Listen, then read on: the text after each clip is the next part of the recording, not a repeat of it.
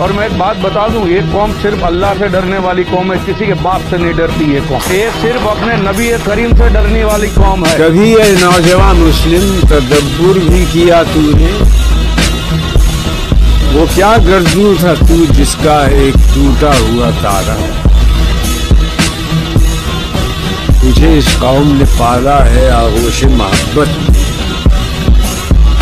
कुचल डाला था जिसने पाँव में ताजे सरे Dara.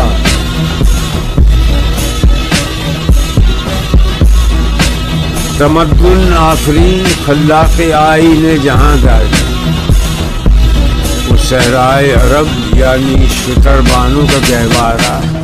Türk olunca dek yolumuz zafer, adımız muzafferdir.